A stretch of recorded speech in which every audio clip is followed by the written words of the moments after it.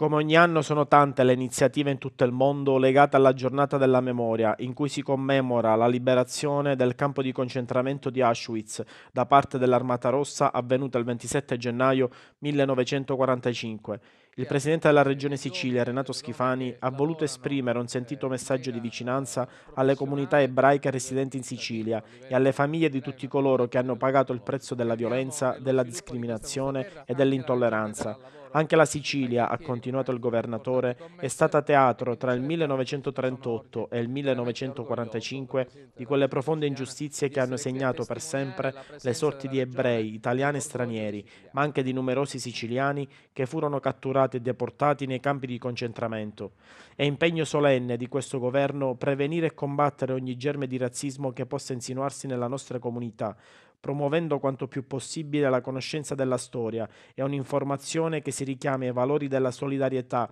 della convivenza e della tolleranza, gli unici, ha concluso Schifani, che possano dirsi alla base di una società giusta e solidale.